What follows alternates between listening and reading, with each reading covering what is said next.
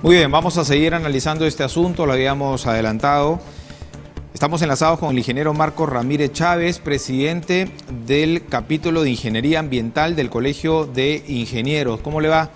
Eh, ingeniero Ramírez, buenos días.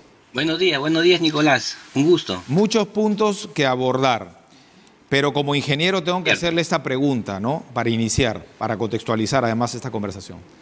¿Cómo es posible que no, haya eh, un plan de contingencia ante un oleaje? Oleaje, ¿ah? no estamos hablando de tsunami, un oleaje anómalo, que podría ocurrir cualquier día. Sí, exactamente. No es muy preocupante. Nosotros como ingenieros nos sentimos eh, muy preocupados eh, por la falta de este plan de contingencia, como usted bien lo menciona.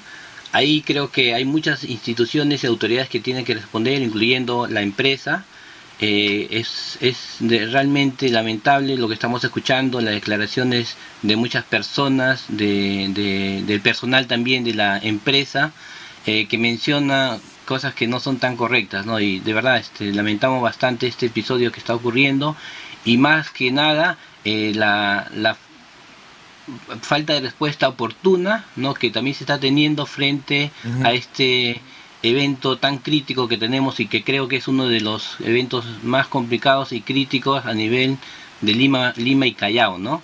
Eh, y en ese sentido creo que eh, lo, lo, que tiene que hacer la autoridad ambiental en este caso es declarar la emergencia ambiental tanto en Ventanilla como en todas las áreas eh, aledañas, ¿no? Hay muchas, ingeniero, hay muchos detalles que empiezan a conocerse, ¿no? Después de algunas horas y algunos, algunos días.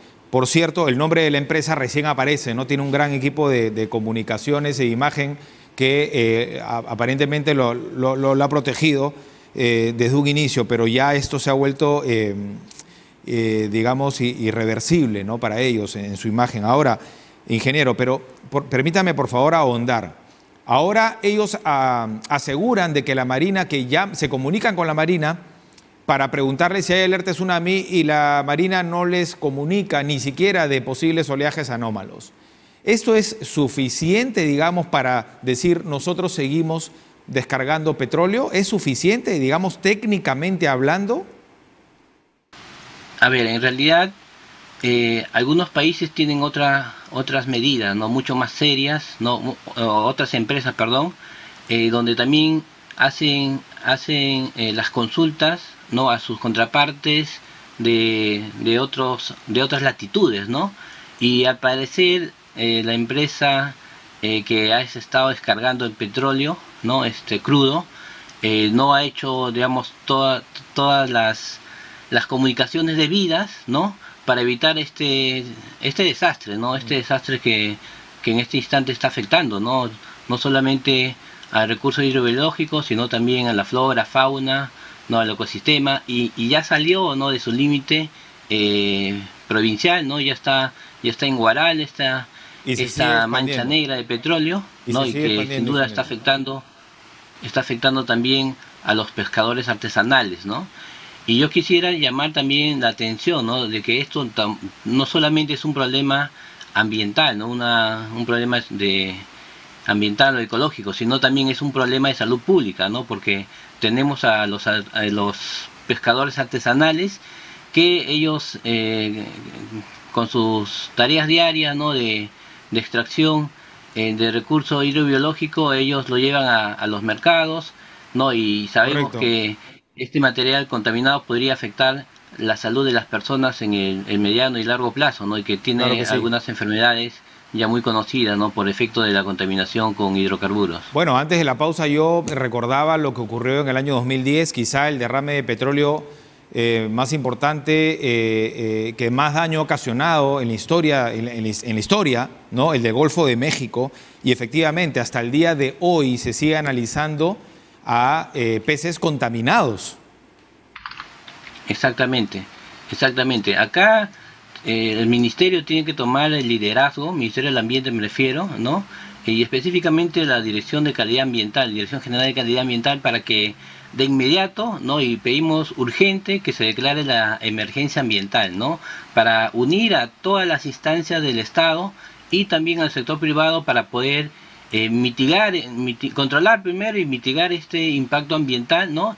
Y que haya un plan no muy serio no para eh, seguimiento de este problema ambiental no en el corto mediano y largo plazo no esta contaminación sin duda eh, es una herida muy profunda en nuestro mar en el mar peruano y, y hay que hay que monitorearlo eh, por lo menos unos 30 años no de verdad este esto es muy crítico lo que ha sucedido y lamentamos profundamente no la comunicación de riesgos la gestión de riesgos residuos peligrosos no este es un tema de residuos peligrosos y también he, estado viendo que hay convocatorias que no son tan serias, ¿no? Eh, indicando, ¿no? Que, que, hay que limpiar, ¿no? Este, el mar contaminado, pero eso, eso hay que tener mucho cuidado, ¿no? Estamos hablando de, de, productos peligrosos, ¿no? De, de residuos peligrosos que se convierten, ¿no? Ingeniero, quizá lo que más indigna a uno, a un periodista o a un ciudadano que, que apela a los medios tradicionales o a las redes sociales, eh, lo que más indigna es ver, por ejemplo, a, personas con recogedores de, basura domésticos, ¿no? tratando de, limpiar este, la playa, o bolsas, activistas, ni siquiera miembros o, trabajadores de, Repsol, que es una transnacional que tiene muchísimos años en el negocio y que tendría que actuar rápidamente. ¿no? O sea, si no fuera por estos ciudadanos que estamos mencionando, probablemente que, hacen lo que pueden además, porque tampoco es que sean expertos, ¿no? Esto sería terrible y eso es lo que más indigna, ¿no? Sí, sí, es una pena, ¿no? Este, de verdad agradecemos profundamente las buenas intenciones, pero en vez de ayudar, ellos se pueden perjudicar, ¿no? En realidad se están exponiendo a residuos peligrosos eh, sin sin eh, los equipos de protección personal adecuados, ¿no? Esto, esto, este tipo de contaminación se hace eh, con trabajo serio, responsable, ¿no? Con, con medidas de seguridad eh, muy rigurosas, ¿no? En otros países y que así se debe de tomar, ¿no? Para descontaminar, ¿no? Controlar este derrame. Una reflexión final, ingeniero.